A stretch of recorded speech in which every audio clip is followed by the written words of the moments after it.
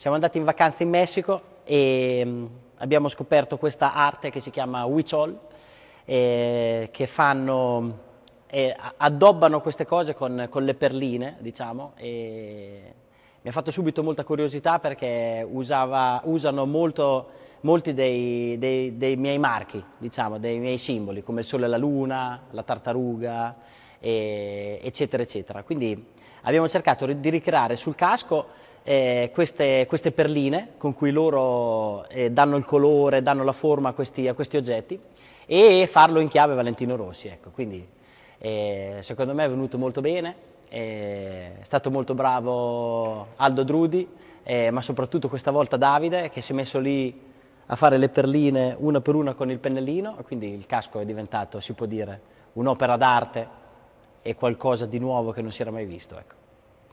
Yeah!